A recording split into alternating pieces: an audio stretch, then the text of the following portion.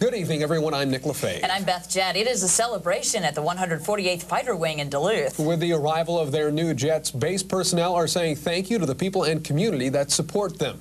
And that community is celebrating a continued benefit from the base's people and economic impact. Here's to the best fighter wing with the newest F-16s and the most talented airmen in the world. Hear, hear. The Block 50 F-16s keep the 148th on the job and signals the end of a roller coaster ride with the base's future riding shotgun. If we didn't get the new planes, they'd basically have to close down the base. But those new planes did arrive, capping a renaissance that went from a slated closure in 2005 to the prestigious Raytheon Trophy and a jet flown by only one other Air National Guard base in the country. Today we are at the top of all United States Air Force F-16 wings.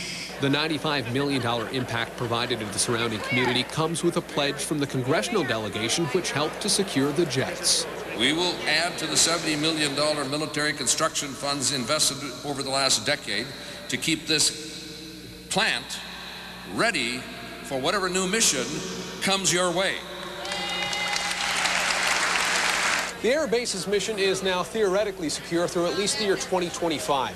And as they get ready to take their new planes out for their maiden flights, they're already thinking ahead to what planes might yet be next.